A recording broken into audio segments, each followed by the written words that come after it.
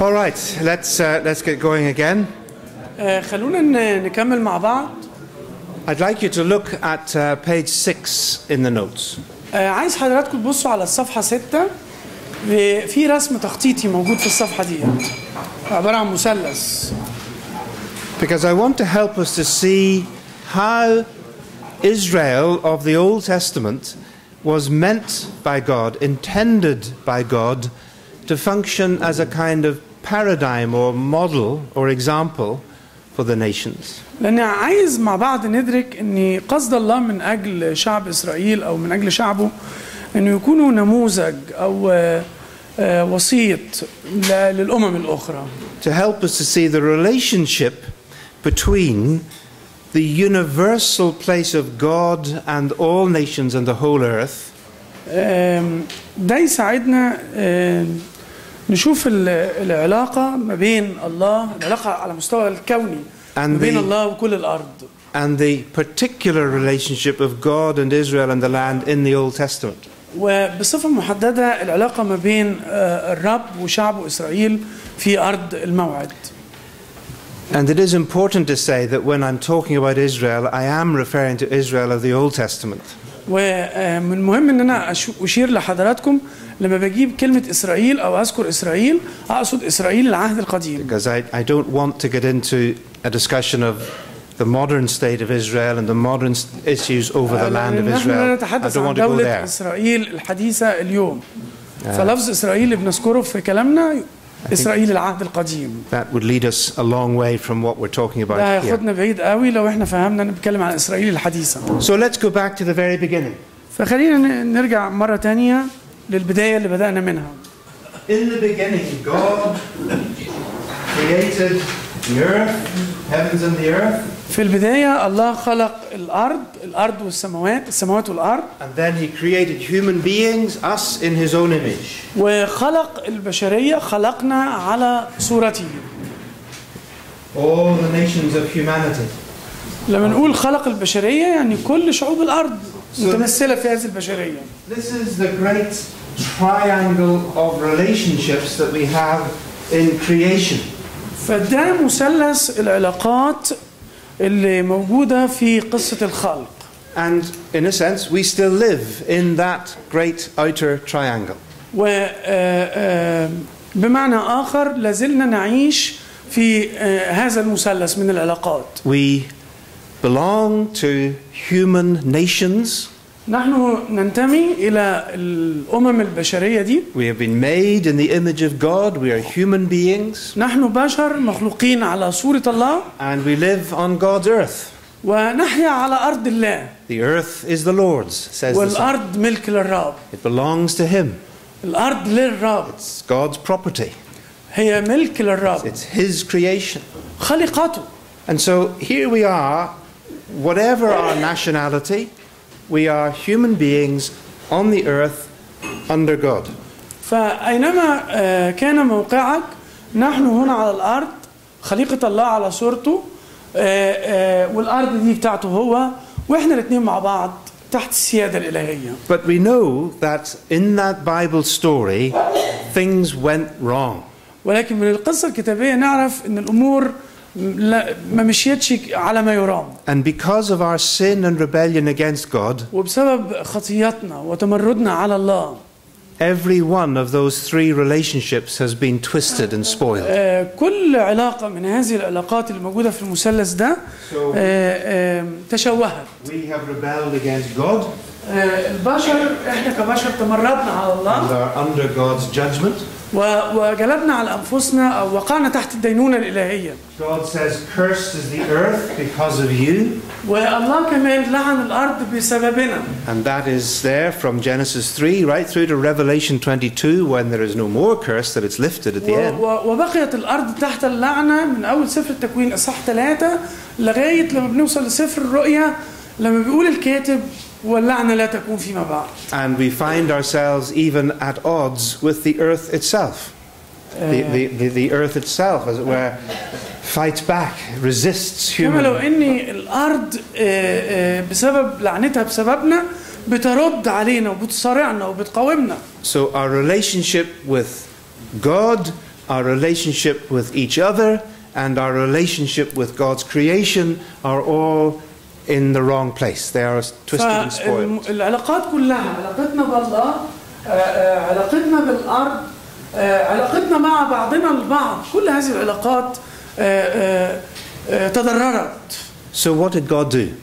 يعمل ايه الله That's where the Old Testament story begins the story of salvation. وده ال- الق- ده اللي اللي معني بيه العهد القديم And it قصة الخلاص الله يبدأ خلاصا للأرض And it ولل- begins- وللبشر It begins in Genesis 12. وقصة هذا الخلاص بتبدأ بوضوح في تكوين 12 Genesis 12 comes after Genesis 11. تكوين 12 يأتي مباشرة طبعا بعد تكوين 11 You need, you need to know these things. مهم جدا تعرفوا ان 12 بعد 11 You're not going to get a PhD for nothing, you know. مش معقولة تاخدوا الدكتوراه على ما فيش يعني and Genesis 11 is the climax of the story of human sin and rebellion at the Tower of Babel. Do you remember? آه، في تكوين 11 بنشوف ذروة التمرد الإنساني اللي بيظهر في تجمع الناس وبنائهم برج بابل when the nations are scattered and divided under God's judgment and on the earth. آه، وبنشوف كمان ال- الأمم والشعوب تتشتت وتتفرق من جراء الدينونة الإلهية But in chapter 12, God calls Abraham لكن في تكوين 12 الله يدعو إبراهيم and says, I'm going to bless you and make you into a nation. وبيقول له إيه أنا هباركك وأجعلك أمة Which أمة عظيمة becomes the nation of Israel. اللي هي فيما بعد عرفت باسم شعب إسرائيل Abraham, Isaac, Jacob, Israel, and then the people of Israel, children of Israel. آه، إبراهيم إسحاق يعقوب ويعقوب عرف بإسرائيل والأسباط شعب إسرائيل So, out of all the nations, God creates and calls this one nation. فنقدر نقول من كل الأمم بتاعة الأرض الله خلق واختص بالتعامل شعب إسرائيل And God promises them and puts them into a land, the land of Israel. والله وعدهم يديهم الأرض وحطهم في الأرض And all the countries of the earth, as it were, this one land becomes the land of Israel. ومن كل أراضي كل الأمم وأراضي كل الشعوب هناك أرض عرفت باسم أرض إسرائيل And so we see this inner triangle of God's redeeming work, God at work for salvation through this one people, Israel, in this one place, the land. فجوه مثلث العلاقات المشوهة بنشوف عمل الله الفدائي لشعب معين عرف باسم شعب إسرائيل ساكن في أرض معينة عرفت بأرض الرب أو أرض الموعد Out of all nations, one nation. م- من بين كل الشعوب في أمة واحدة Out of all lands, one land. ومن كل من بين كل الأراضي بتاعت But كل he is- الأرض في أرض واحدة Here's the point دي دي إليكم بقى النقطة اللي أنا عايز أقولها God's call of Abraham and blessing of Israel was not the rejection of all the other nations. اختيار الله لإبراهيم أو لإسرائيل لا يعني رفض الله لباقي الأمم والشعوب It was for the sake of all the other nations. لكن يعني اختيار مح- مخصص من أجل باقي الشعوب And God's acting in this one land, the land of Israel, وعمل الله الخلاصي في أرض محددة أرض إسرائيل was not so that that would be the only place on earth that would ever have any blessing from God. لا يعني ان ده الارض او البقعه المحدده اللي تتمتع فقط بالبركه الالهيه Ultimately, as God said to Pharaoh, He said, so that the whole earth will know that I am the God of لما all the الرب earth. كان بيخرج شعب من ارض مصر كان دايما موسى يقول او الرب يقول لكي يعلم المصريين وكل as- اني أنا الرب كل الأرض تعرف As I'm sure you know, in, in Hebrew, Eretz can mean the land or the earth. Yeah, It can mean the land or the earth. آه، ممكن تعني آه، ارض بمعنى يابس أو تعني آه، الكوكب الأرض كله So we need to see that God was never limiting his purpose to only this people. He had a mission. His mission was for all nations and the whole earth. آه، آه، فنقدر نقول ان عمل الله في اختيار شعب بقعه معينه لا يقتصر فقط على هذا الشعب او هذه البقعه ولكن آه، هذا الاختيار يرتبط بمهمة إلهية في أن الرب عايز يبارك كل الأمم ويبارك كل الأرض And that is a story, of course, which takes us on through the Bible وهي دي story القصة المعني بيها الكتاب بدءا من سفر to the التكوين coming 12 of Jesus, the لغاية- Messiah of Israel,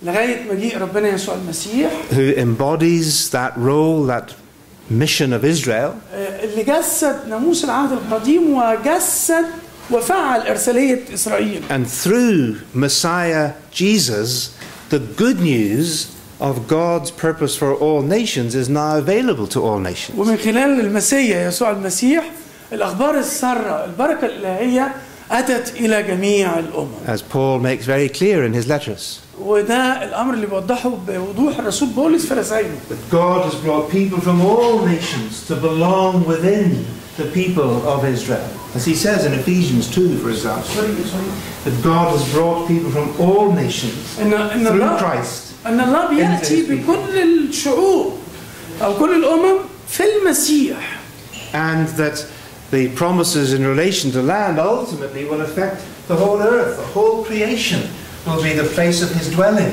He will come to dwell in the whole earth, not just one tiny piece of وفيما land. يختص بالأرض الرب هيبارك الأرض لأن الرب لما هيجي مش هيسكن في بقعة أرضية محددة لأن كل الأرض للرب So, with that understanding of this purpose of God for all peoples, آه، بهذا الفهم عن آه، قصد الله من أجل كل الناس we can look in our scriptures at what God said in here, in this part of the Bible, the Old Testament, the law, the prophets. We can look at that آه، نقدر نبص على المثلث الصغير في العهد القديم الناموس والأنبياء and we can say if God is the same God who is the creator and redeemer, this is the same God, ولو قلنا ان الله هو نفس الاله الفادي الخالق then what God wanted in Israel, the, the character of God shown in Israel, must also still be relevant and applied here. آه، يبقى ال- ال- الطبيعه الالهيه آه، ال- الهويه الالهيه يجب ان تبقى كما هي عندما يصل الله لكل الشعوب وكل الارض Because he's the same God لانه نفس الاله ما يتغيرش and he is consistent with himself. وهو متسق في ذاته ما فيهوش تناقض He has not stopped being the God of justice and compassion that he Lanya- reveals in the Old Testament. لن يتوقف عن أن يكون اله العدل والبر والرأفه اللي آه، اعلنه العهد القديم And so, therefore, what we need to do when we go to those laws of the Old Testament is to try to understand them in their context and then step with them into our context. آه، فاللي محتاجين نعمله لما نيجي نقترب من ناموس العهد القديم او الانبياء إن إحنا ندرسهم في إطار السياق بتاعهم اولا وبعد كده آه، ننتقل إلى خطوة أخرى في السياق بتاعنا دلوقتي. So turn to page 7 in your notes. حضرتك آه، آه، فتحت على صفحة 7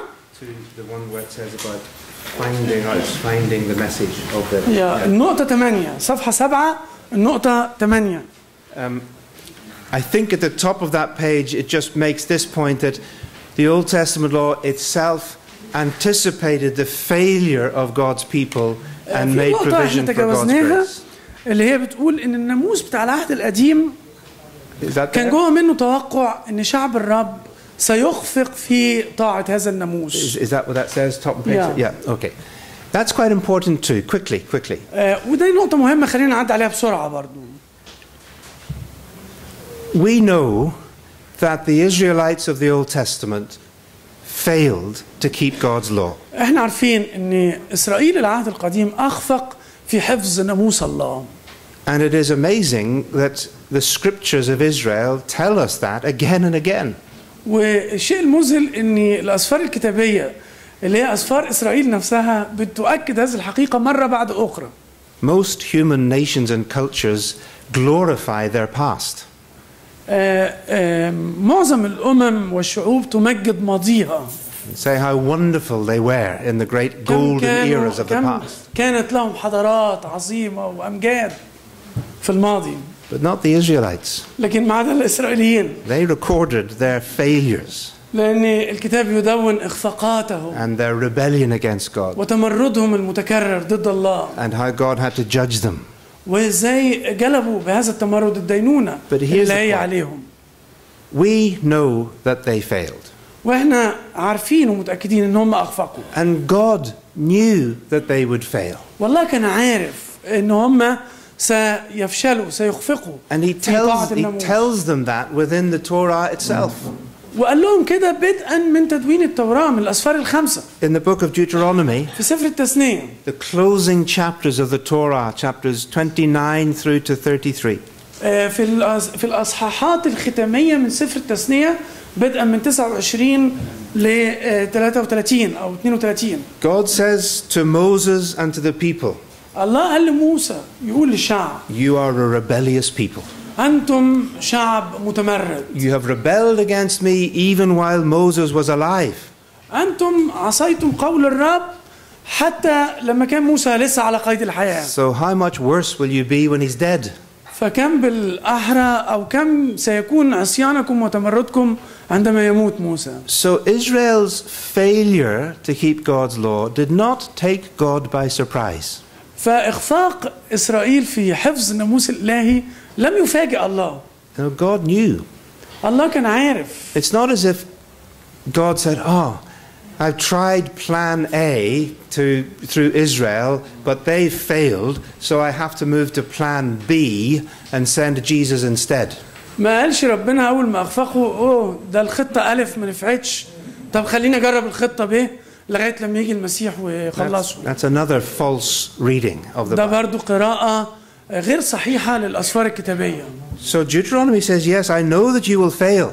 فسفر التثنية بيقول أنا عارف أنا متأكد إن أنتوا آه، هتفشلوا في حفظ You, الناموس if you turn back to me, there can be grace and forgiveness even beyond judgment. آه، لكن لو رجعتم إلي وتبتم برضو سأجود عليكم بنعمتي ورحمتي من الدينونة And of course, God had provided the sacrificial system as a way of coping with those sins of the people. ولأجل هذا زود الله شعبه بالنظام الذبائحي علشان يقدر يسترد شعبه لما يخفق في طاعة And الناموس ultimately, He provides His own self sacrifice in the Lord Jesus وفي Christ for the النهاية- sins of all people. آه، آه، آه، قدم ابنه كذبيحة نهائية آه، من أجل استرداد شعبه So, if you read sometime Deuteronomy chapter 30, not now, but sometime read لو Deuteronomy قريت فيما 30, بعد آه، سفر التثنية آه، الفصل 13 you see. 30 Yeah, 30, 3 0. Yeah. آه، أوكي Yeah, okay, yeah, okay. 9 It's, it's almost an evangelistic chapter. آه، آه، في الغالب الفصل ده فصل كرازي Because God says, look, you will fail, the judgments of the curses will come, you will be scattered among the nations. بيقول لهم الفصل ده بيتنبأ انتوا هتفشلوا الدينونة ستأتي هتتشتتوا إلى كل أمم الأرض But if from there you will seek me with all your heart and turn back to me, then I will give you a heart to love me and to obey me. لكن إن إن وانت مشتت في هذه الأرض البعيدة لو تبت ورجعت للرب أنا هديك قلب وأرجعك تاني للأرض مرة So أخرى Moses says, choose that, choose life, he says. وموسى قاعد يشجعهم آه، وضعت أمامك الموت والحياة اختار الحياة لتحيا So I wanted to say that, that yes, God gives his law, but he knows that people are sinners. وعايز أقول الجملة ديت الله إدى شعبه الناموس لكن هو عارف إداهم الناموس وهو عارف ان هم هيخفقوا And he knows that about us as well. سوري He knows that about us as well. آه، هو عارف- عارفنا كويس كمان احنا المسيحيين And so when we preach from God's law in the Old Testament, فلما نيجي نوعظ بقى من ناموس العهد القديم Then- وصايا العهد القديم of course, we and our people should know that we fail to live like this. آه لازم نكون على درايه ان زي ما شعب الرب شعب الرب واحنا بنخفق في حفظ ناموس But الرب that should not just drive us to despair وده ما يقودناش لليأس or just to try harder. أو يقودنا إن إحنا نبذل جهد أكتر It drives us to come back to God إن إحنا نبذل جهد أكتر في محاولة إن إحنا نرجع للرب in repentance. آه، في- in repentance, to repent, yeah? للتوبه And to find God's grace again in the forgiving work of Christ at the آه، آه، cross. يقودنا ان احنا نتوب ونتمتع بنعمه الله مره اخرى And in that sense, the law drives us to the gospel. وبهذا المعنى يقودنا ناموس العهد القديم الى الانجيل And then sends us out again to seek to live in a way that pleases God. والانجيل يرجع يوصينا تاني ويرسم لنا الحياه اللي المفروض نعيشها علشان ترضي الرب Which is what our liturgy does for us as we worship Sunday by Sunday. سوري It's what our liturgy does for us, yeah?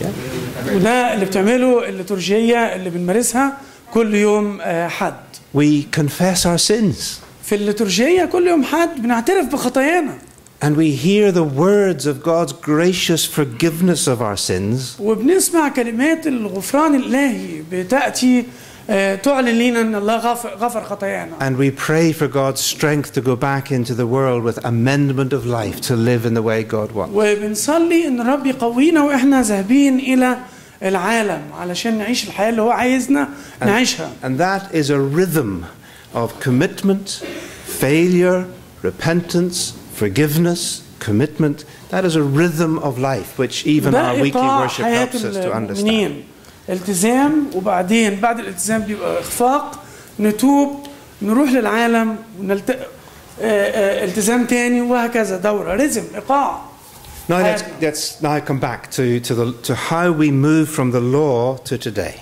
آه، خلينا اروح بقى للنقطه 8 على صفحه 7 آه، إزاي إيه هي رسالة الناموس اليوم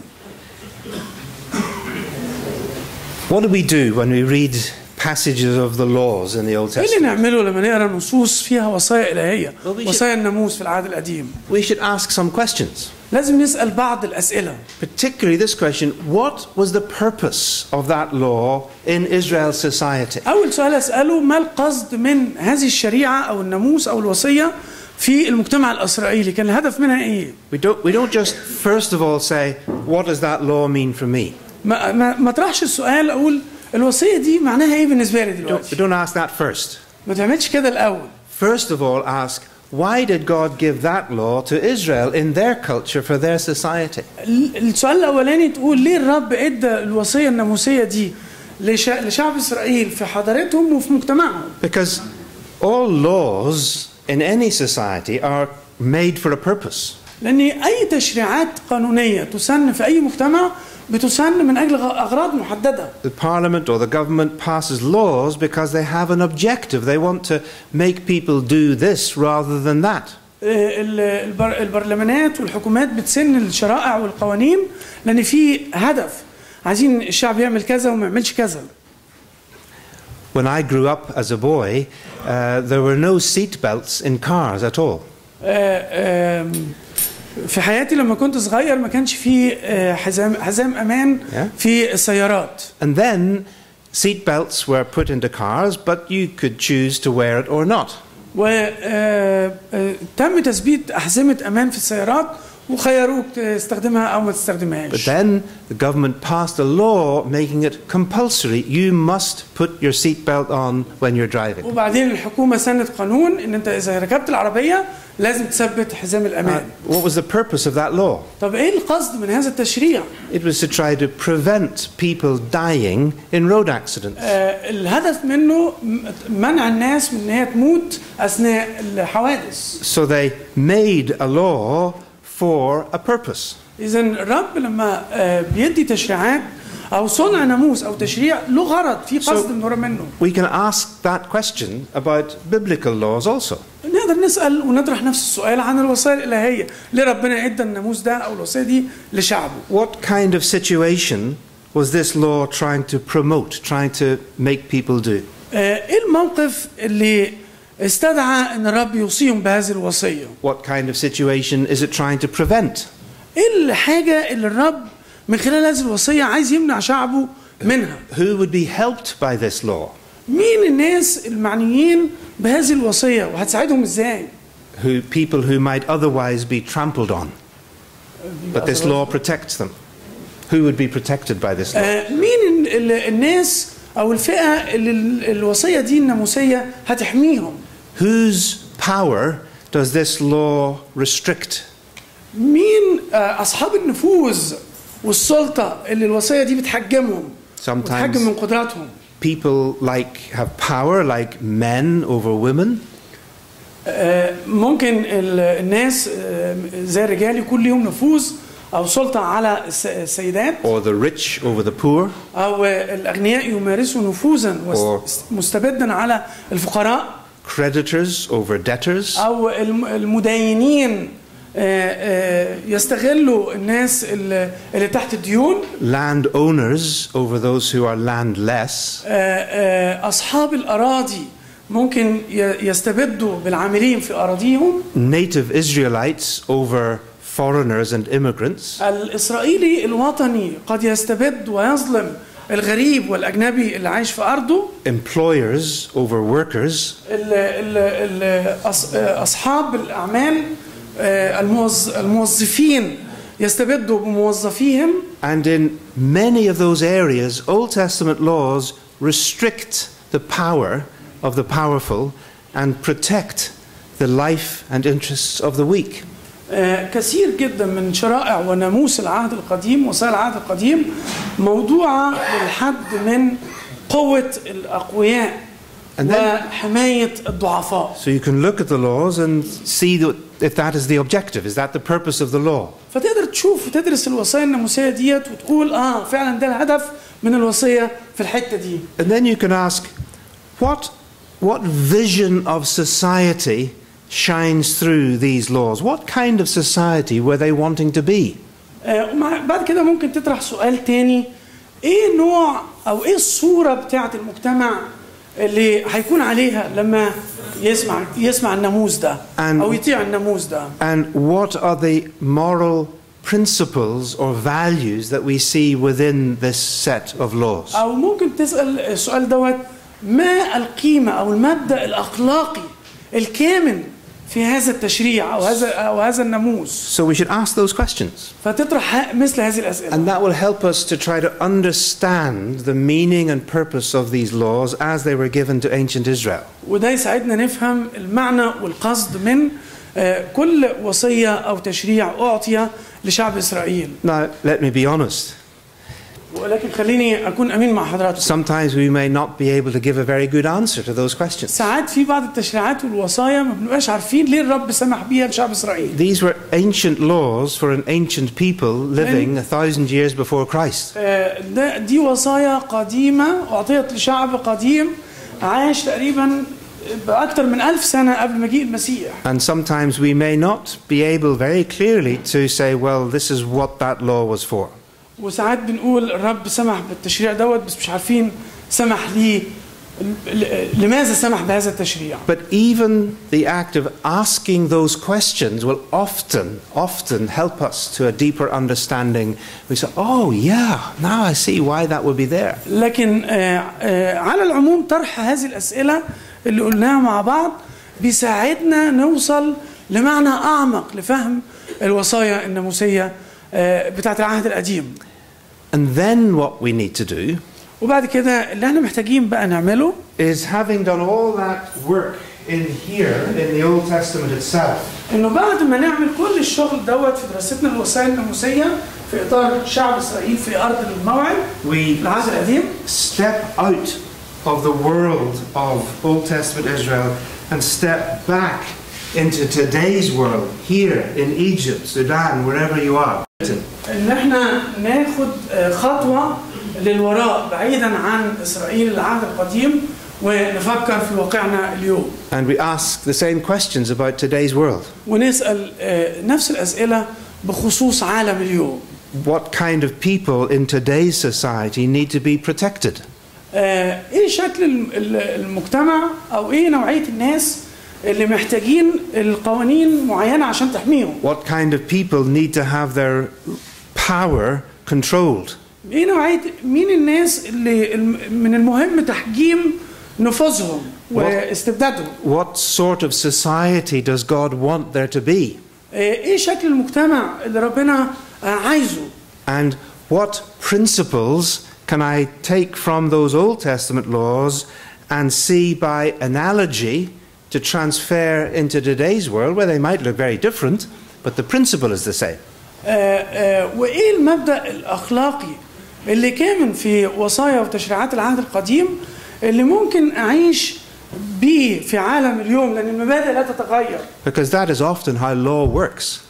سوري That is how law works. People take cases and they take principles from particular cases and they apply those principles to different cases where they apply. آه، آه، لان ده اللي اللي اللي بيعمله إن آه، الناس ناخد مبدا من وصيه او تشريع في العهد القديم ونطبق هذا المبدا على مواقف وحالات آه، اخرى لان المبادئ لا تتغير There's a very good example in the New Testament of Paul, St. Paul, doing exactly this. آه، آه، مثال رائع ح- حالة حصلت مع الرسول بولس عمل الآتي I'll try to give it as quickly as I can.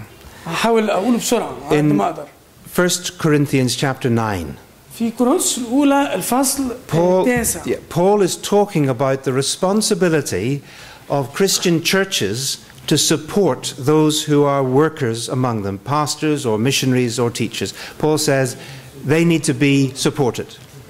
آه، بيقول الرسول بولس آه، بيشجع الكنيسة إن هي تدعم المعلمين والرعاة وال- والقائمين على العمل في وسطهم And Paul argues for that on several different grounds. He has several arguments why that needs to be done. وبيقدم آه، أكتر من حجة آه، ليه شعب الكنيسة المفروض يدعم القادة And then he says, Does not the law also say the same thing?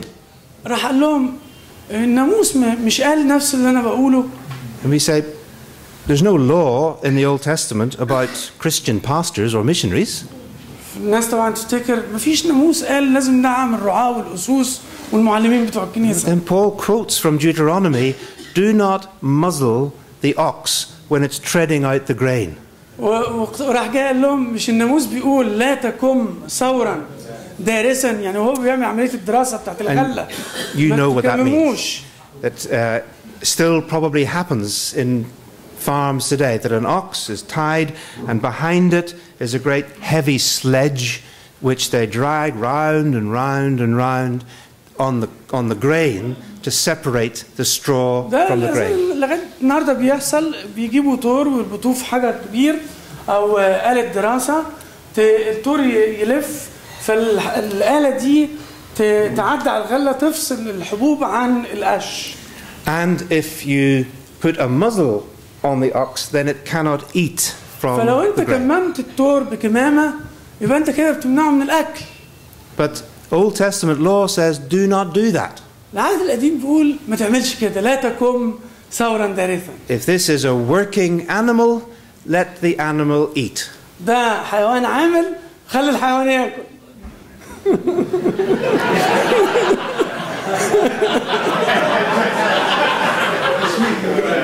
Thank you. It's okay. And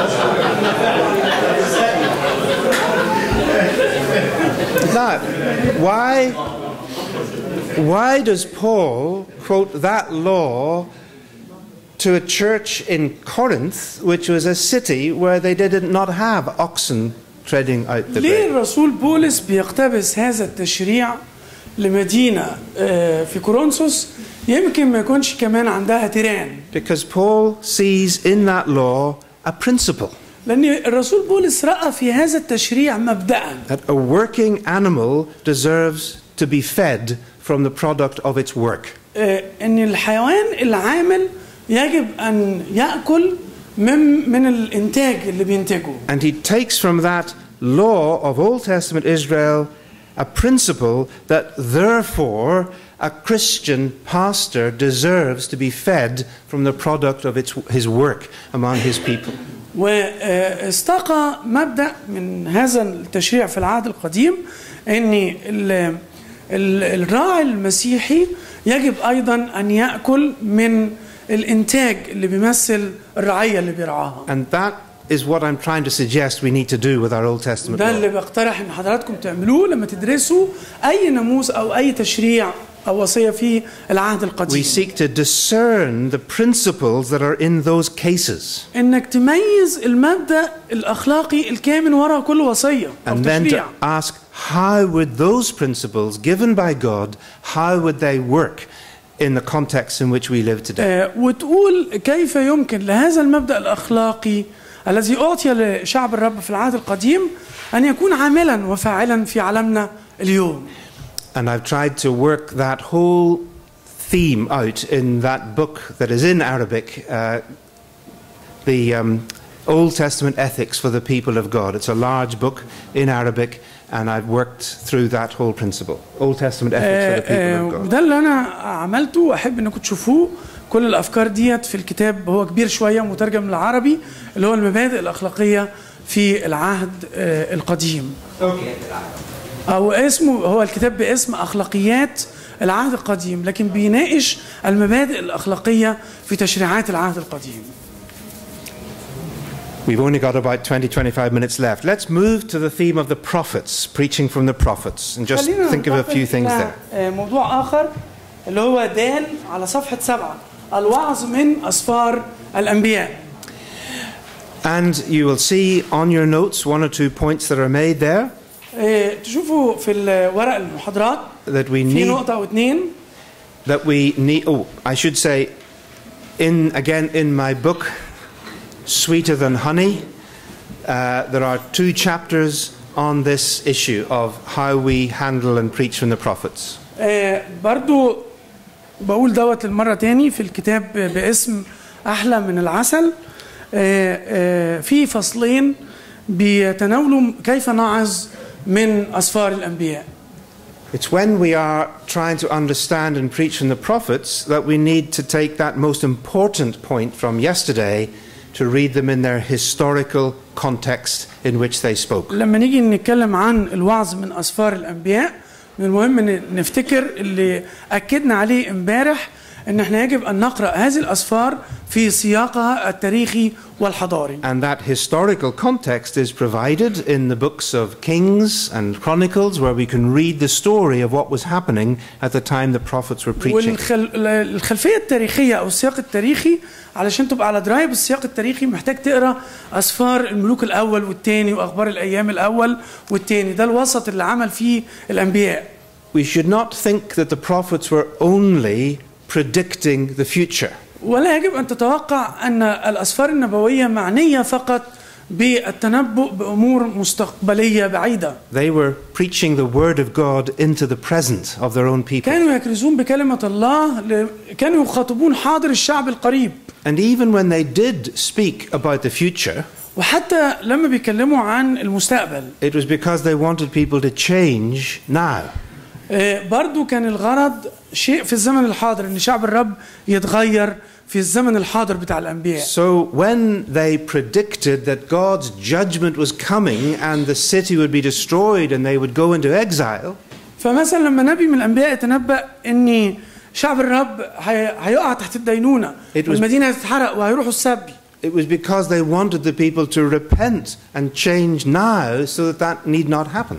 آه، آه، دي بطريقة غير مباشرة دعوة للشعب إنه يتوب دلوقتي وممكن توبتهم ما تجيبش الدينونة دي It was a conditional prediction. آه، بيسموها نبوات مشروطة It's like if you're a father and you go into your son's bedroom and he's busy playing on the computer. الأمر يشبه أب دخل على ابنه في غرفة نومه ولقاه مشغول بالشغل على الكمبيوتر And you say to your son, فبتقول لابنك You are going to fail your exams. انت هتسقط في الامتحانات You will fail your exams. انت هتسقط في الامتحانات And you will not get to university. ومش هتروح الج... ال- ال- الجامعة بتاعتك And you عايزها won't get a job. وبع... وطالما ما, ما اتعلمتش مش هتحصل على وظيفة حلوة Now that sounds like a prediction, doesn't it? الجمل دي كأنها برضو جمل نبوية But is the father saying that because you want that to happen? هل الاب وهو بيقول الجمل ديت بي... ده هيحصل لان No, what- الاب عايز ده يحصل لابنه What are you really saying? هو ك- بيقول له ايه بالظبط ايه You're saying, الرساله this is what will happen if you don't stop playing games and ده start اللي doing your هيحصل homework. لو انت ما بطلتش تلعب آه، كمبيوتر جيمز وما انتبهتش لواجباتك In other words, your prediction of failure is made in order to change his behavior now. يبقى بطريقة أخرى آه، اللغة النبوية اللي بيتكلم بيها الأب معنية بأن ال- إن الابن يوقف اللي بيعمله In other words, it's a warning. هي كلمات تحذيرية And so much of the prophecies of Old Testament before the exile are like that. It's what God is saying. وهكذا نبوات كثيرة قبل ما حادثة السبي تحصل لإسرائيل تأتي بنفس هذا المعنى Sometimes it's quite explicit. In Jeremiah 7, Je- Jeremiah says that if you will change your ways, then I will let you live here. But if not, I won't. ساعات النبوة بتيجي صريحة زي ما حصل في أرمية سبعة بيقول لهم إن أصلحتم طرقكم تعيشون في هذا المكان So, preaching judgment in the future was to make people repent now.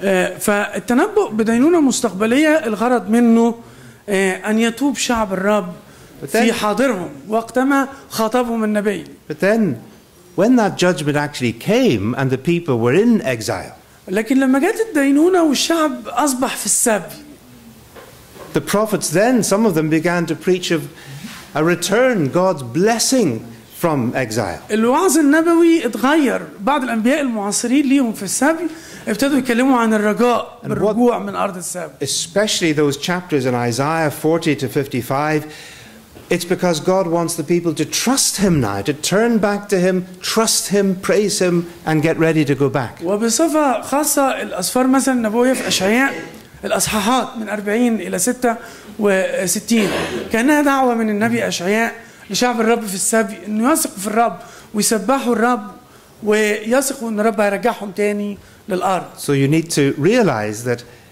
even the language of future prediction is intended to make changes in the present.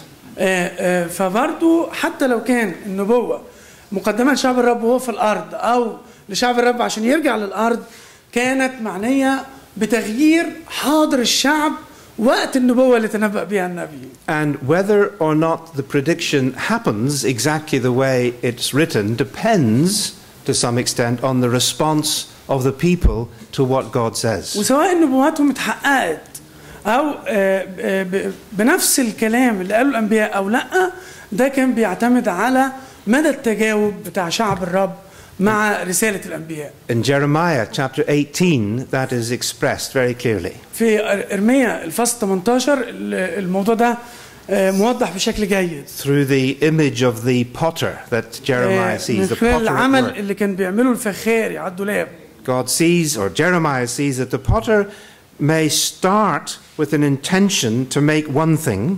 المثل بيبدأ بيقول إن الفخاري كان عنده آه، قصد كان ناوي يعمل حاجة but because of something in the clay, he لكن- chooses to do something else, something different. لكن الوعاء فسد بسبب حاجة في طبيعة الطينة بتاعت الإناء فقرر يعمل إناء جديد كما حسن في عين الفخاري And then God says, That is how it is with me. وربنا قال هكذا أنتم بيدي يا بني, يا If بني I إسرائيل declare that I'm going to bring judgment on a nation, any nation, if, I'm going to, if I declare that as my intention, ساعات آه، أتنبأ أو أقول إن في دينونة ستحل على شعب معين أي شعب but that nation repents and turns away from its evil, لكن هذه الأمة تتوب وتترك خطايا شرها then God says, I will not do what I said I would do. He will فربنا change. بيقول له بيقول لأرميا الشر اللي كنت ناوي أعمله عليها أو أجلبه عليها لن أجلبه عليها And the other, that if I say I'm going to bring blessing to people and they rebel and do wickedly, then I will change. I will not send that blessing. والعكس تماما أكدوا الرب مرة تانية لو كان في أمة قلت آه، إن أنا سأجلب بركة وأباركها And of ولكن course- الأمة ديت استمرت في الشر هكف عن البركة اللي كنت ناوي أباركها بيها The illustration of that in the Old Testament itself is the book of Jonah. واللي بيوضح هذا الأمر في آه، العهد القديم هو سفر يونان Because Jonah, God sends Jonah to Nineveh to preach in 40 days, this city will be overturned. الله بعت يونان لنوى فكرز برسالة بعد 40 يوم تنقلب المدينة But what happens? لكن ماذا The حدث؟ people of Nineveh repent, تاب شعب نينوى and God does not do what he said he would do, فلم تنقلب المدينة ولم يجلب الرب الدينونة على شعب نينوى which makes Jonah angry. ده الامر اللي خلى يونان يبقى زعلان شويه Jonah is actually embarrassed by the forgiveness of God. جونا وات He's embarrassed. He doesn't like it.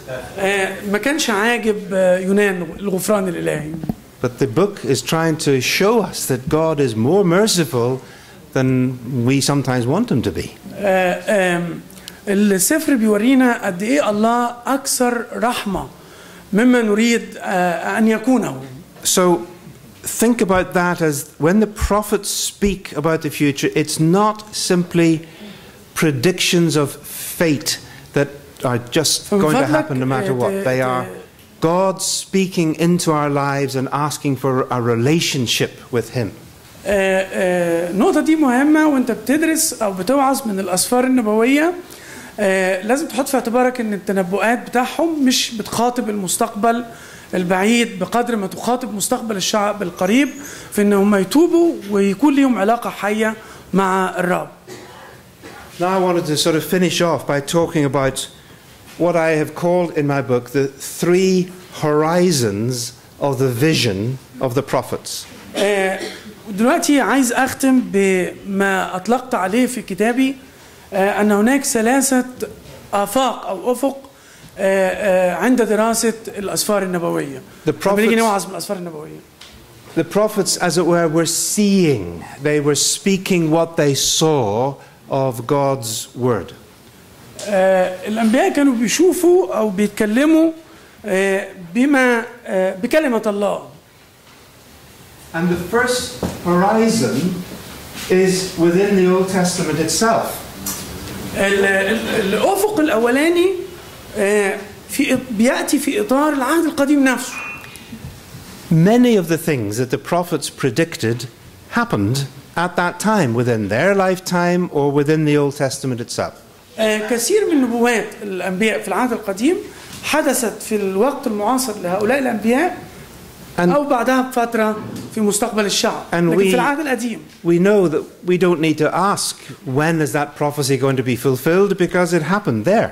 آه، مش محتاجين لما نيجي نقرا الاسفار النبويه ونشوف نبوه نقول النبوه دي هتحصل امتى لانها اوريدي حصلت في العهد القديم In Jeremiah 28, Jeremiah prophesied that Hananiah, the false prophet, would die because he had prophesied falsely about God. آه، في إرميا إصحاح 28 إرميا تنبأ إن حنانيا سيموت في خلال سنة لأنه تنبأ بنبوات That was a word of Jeremiah's prophecy, and it's recorded in the scriptures. ودي كانت كلمة النبي إرميا مسجلة في الكتاب المقدس Hananiah, you will die. قال له في هذه السنة تموت Now, we don't go out into the streets of Cairo and look for somebody called Hananiah. مش هي مش معناها بقى تسيب السفر ارميا وتدور في شارع القاهرة حد يا جماعة هنا اسمه say, هيموت You're قريب going to die. آه لو في واحد اسمه حنانيا انت هتموت في No, خلال I'm سنة not. مش هنعمل كده طبعا Yes, you are. It's written here in the Bible. ده هو مكتوب في السفر We know that that prophecy was fulfilled in the Bible itself. احنا عارفين ان هذه النبوة تحققت في زمن النبي نفسه And so we need to be, we need to use our common sense to understand that. آه، محتاجين نستعمل ال- ال- الفطرة او البداهة بتاعتنا عشان نفهم الاسفار النبوية But there is, of course, a sense in which the prophets were looking forward to the purposes of God for God's people, which ultimately were going to be fulfilled in Jesus Christ. لكن في أفق تاني آه، محتاجين نحطه في اعتبارنا إن ساعات الأنبياء بيتطلعوا للأمام آه، بيتطلعوا لرؤية قصد الله من أجل شعبه الذي سيتحقق في شخص المسيح And that is the second main horizon of the That- prophetic vision. وده أنا بسميه الأفق الثاني في تحقيق الرؤيه النبويه أو الكلمات النبويه The, the story of the gospel, the coming of Jesus, his death, his resurrection, the outpouring of the Spirit on the day of Pentecost, those great New Testament realities are seen to be the fulfillment of what the prophets were talking about. آه، قصه العهد الجديد مجيء يسوع المسيح وانسكاب الروح القدس الواقع المسيحي بتاع العهد الجديد Even though it may sometimes have sounded very different. It may have sounded very different when the prophets first said it. Even though the, uh, okay. yeah. What I meant was, let's take an example. I'll take an example. In Joel chapter 2, في سفر يوئيل اصحاح 2 Joel speaks about how the Lord is going to pour out his spirit on all his people. بيقول يوئيل آه، ازاي روح الرب هينسكب على شعب الرب And it will be such a world shattering event that he talks about the moon being blood and uh, the sky being darkened, and he uses all that kind of language. واستخدم about لغه آه، كما لو ان الكون كله هيهتز عند انسكاب الروح القدس القمر يتحول الى دم والشمس تظلم Now, on the day of Pentecost, وفي يوم الخمسين when the Spirit fills the disciples لما الروح القدس حل على التلاميذ وملأ and they التلاميذ are speaking these multiple languages to the people in و- Jerusalem, آه، آه، تكلموا بلغات متعدده لكل الناس المجتمعين في اورشليم and, and some people think they're drunk, وبعض الناس اعتقدوا انهم سكارى and Peter gets up آه، ب- بطرس وقف and he says, No, no, no, we're not drunk, قال لهم لا إحنا مش مش سكرانين but this, what you see, اللي أنتوا شايفينه ده is that which the prophet spoke. And then he quotes from Joel. ده اللي تنبأ سبق وتنبأ به النبي وبعدين اقتبس من كلمات يوئيل النبي about the moon and the sun and all those things that Joel had said. آه، آه، وذكر الكلمات إن القمر يظلم والش... آه، يتحول دم والشمس تظلم he's not suggesting that literally that's what happened, that the moon was red, there was blood in the streets and all of that. He's saying this event, the coming of the Spirit because of Jesus, is what Joel was talking about. This is النقطة that which الأساسية was بتاعت fulfilled. الرسول بطرس اللي عايز أكد عليها مش تحقيق حرفي آه، بخصوص القمر والشمس قد ما عايز يأكد إن اللي- نبوة يوئيل عن الروح القدس على شعب الرب تتحقق اليوم. Paul makes a principle of this in Acts chapter 13 when he's speaking to the Jews in the synagogue. آه، بول آه، عمل نفس الشيء في أعمال 13 لما كان بيخاطب اليهود في المجمع. And he takes them through the Old Testament scriptures and the old story. آه، خد قصة من العهد القديم And then he says, What God promised our fathers, he has fulfilled by raising Jesus from the dead. قال لهم ما وعد به الله أبا أنا in other words, the resurrection, the resurrection of Jesus, he says, is what is the horizon of fulfillment for these Old Testament scriptures.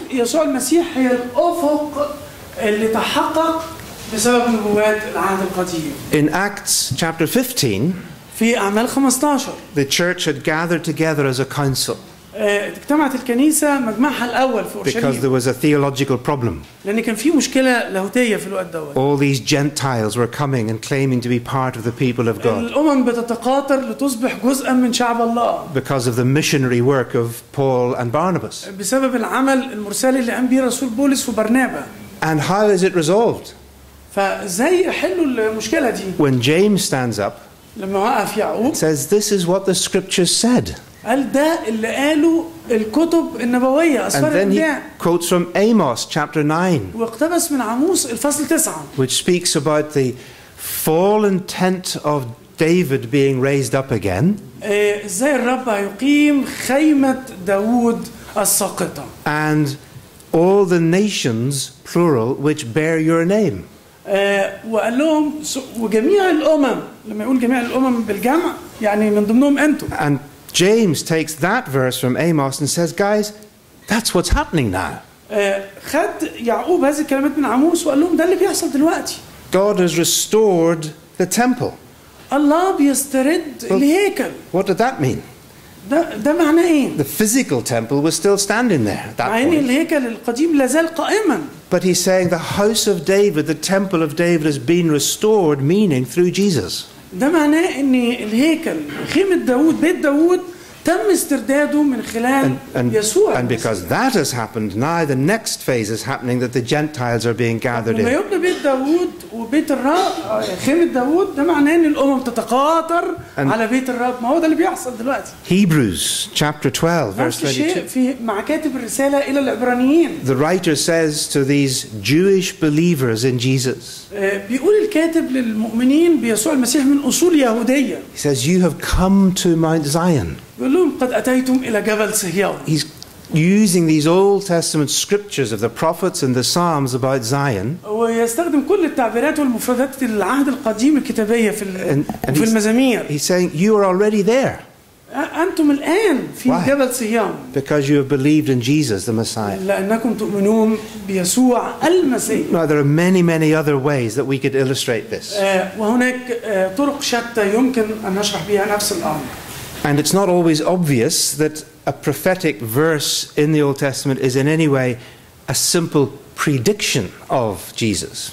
آه، ساعات بقى في بعض النبوات بيصعب علينا ان احنا نقرر اذا كانت بتتنبأ عن المسيح ولا لا But the New Testament writers saw that that Old Testament story of Israel and those Old Testament prophecies have their horizon with the coming of Jesus and his death and لكن كل resurrection. انبياء العهد القديم شافوا ان الافق بتاع نبواتهم الثاني سيتحقق فقط في مجيء الرب يسوع المسيح But there's a third, a third horizon. لكن في افق ثالث ابعد That في sometimes, نبوات الانبياء sometimes the prophets speak of things which were never true in their day, were not yet true in the New Testament, and are not yet true even today. It's yet to come. آه، بعض النبوات اللي تنبأ بها الأنبياء لم تتحقق في حاضر الشعب القريب ولا في مجيء المسيح الأول ولكنها تنتظر التحقيق بعد.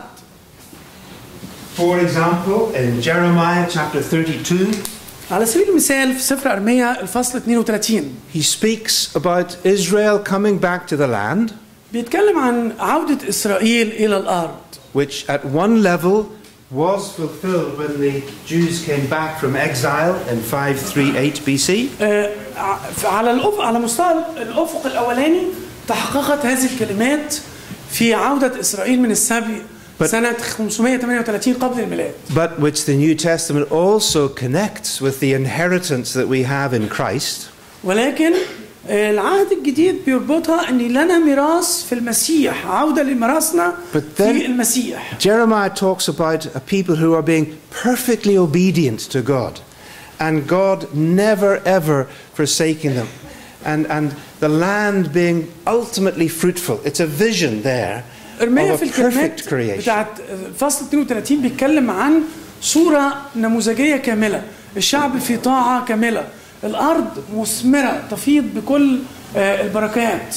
Isaiah 65 talks about a whole new heavens and a new earth. آه، في إشعياء 65 في نبوة كاملة عن السماوات والأرض. In which there will be no more oppression or injustice, في في الصورة اللي بيقدمها إشعياء مفيش ظلم مفيش But- اغتصاب fulfillment of enjoyment of life. في آه، آه، الوصول لحالة الكمال والتمتع الكامل بالحياة And the images that he uses are picked up in Revelation 21 and 22. ولكن الصورة اللي بيرسمها إشعياء بيلتقطها كاتب سفر الرؤيا that what they are seeing is something that we have yet to see in that new creation. وكأن كاتب سفر الرؤيا بيقول لنا اللي شافه آه، واحد زي إرميا أو إشعياء لا يزال تحقيق على مستوى ثالث Now لم remember- يتحقق بعد Here's the prophet standing here. فده موقع النبي واقف هنا And he speaks words in a passage. وبينطق بكلمات في النص النبوي And he may not have had any idea of the length of time from one horizon to another.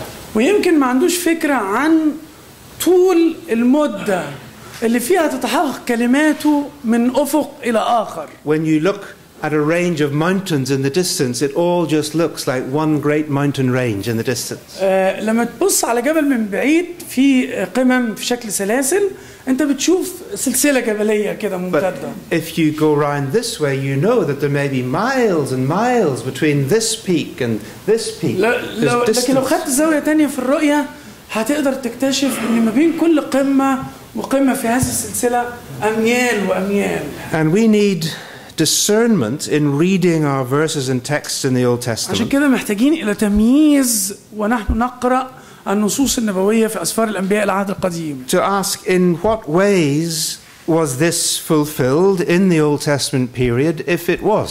آه، أول سؤال نطرحه كيف تحققت كلمات النبي في وقت النبي في وقت آه، آه، آه، العهد القديم نفسه In what ways was this text fulfilled or connected in some way with the coming of Christ and the gospel and the New وبأي Testament? شكل يرتبط هذا النص بمجيء المسيح الأول الأفق الثاني In what ways might it, not necessarily, but in what ways might it point towards a final fulfillment in the new creation? والسؤال الثالث اللي لازم اساله باي الطرق يمكن لكلمات النبي في هذا النص ان تتحقق في المجيء الثاني للمسيح Isaiah 52, for example, verses على 7 سبيل- to 10. آه، على سبيل المثال اشعياء 52 من عدد 7 الى 10 How beautiful on the mountains are the feet of the one who brings good news. يقول ما اجمل آه، اقدام المبشرين آه، آه، على الجبال Good news of peace and salvation. الم- المبشرين بالخيرات اللي هو بالسلام وبالخلاص Saying to Jerusalem, Your God reigns.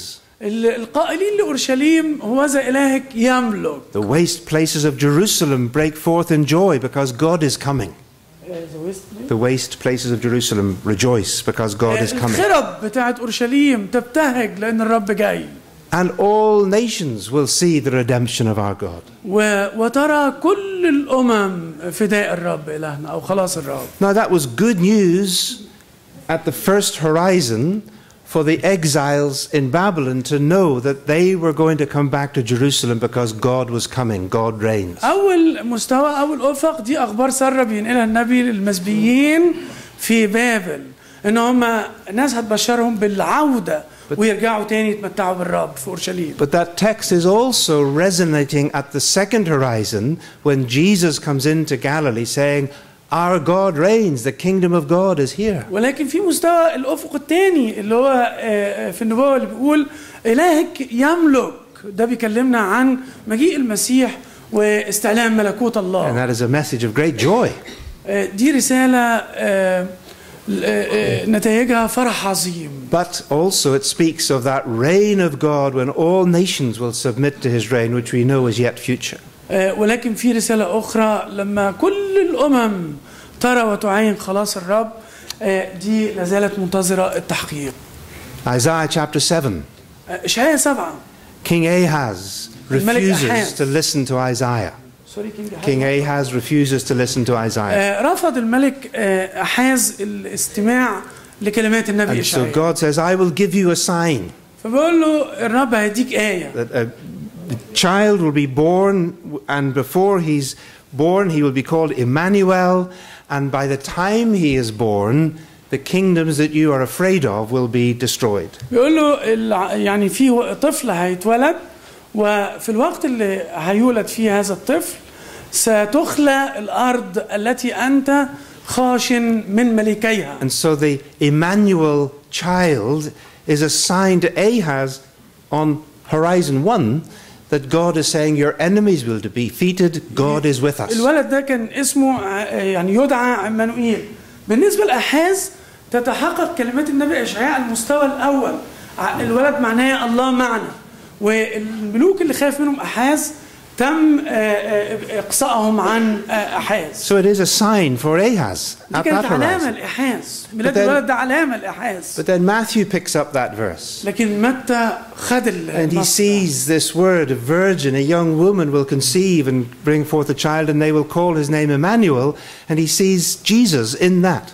آه، لما قال ان العذراء تحبل وتلد ابنا وتدعو اسمه عمانوئيل شاف ده في العذراء وفي يسوع المسيح And so that sign to Ahaz is also having fulfillment at horizon two with the birth of Jesus. يبقى العلامة إن الرب لازال مع شعبه تحققت على مستوى الأفق الأولاني وتحققت على مستوى الأفق الثاني ولد الولد الذي يبرهن أن الله لازال معنا But it doesn't stop there. لكن مش واقف لغاية دلوقتي Revelation chapter 21. في سفر الرؤيا اصحاح John 21 says, Then I saw the city of God coming down from heaven, آه، رأيت ال- ال- المدينة نازلة من عند and I الله heard من a السماء. voice from the throne of God. ورأيت صوتا خارج من عرش الله saying, Now the dwelling place of God is with man, with us. الآن Three وذا times. مسكن الله مع الناس عمانوئيل تاني Here is the ultimate Emmanuel fulfillment إيه، God with هذا هو us. التحقيق النهائي للاسم عمانوئيل الذي يعني أن الله لا يزال معنا So the text can have levels, layers, dimensions. يبقى ممكن of النص fulfillment. النبوي آه، يحمل فطيات ومستويات من التحقيق Now we need to be careful how we try to do that, but at least that helps us see it is possible to do that. Not in all the texts, not always, but we should be aware of those possibilities ده within the يساعدنا text. واحنا بندرس ال- النصوص النبويه آه، ساعات بيبقى من السهل ان احنا نشوف الثلاث افق دول وساعات بيبقى من الصعب نشوف التحقيق على مستوى آه، الافق وخاصه الثاني والثالث I'm afraid I'm really going to have to stop because uh, we've run out of time. لازم لازم اقف And uh, all I would say is try to get hold of some of those books. The one that I would recommend to start with is Knowing Jesus Through the Old Testament. It is in Arabic, you can get that. يعني وانا بختم بوصيكم آه، للكتب وخاصه الكتاب آه، معرفه يسوع من خلال العهد And the other one, Sweeter Than Honey, Preaching the Old Testament, we hope will be available in Ara- Arabic within about a آه، year. is the والكتاب hope. الثاني اللي هو احلى من العسل ده هيساعدك إزاي توعظ من أسفار العهد القديم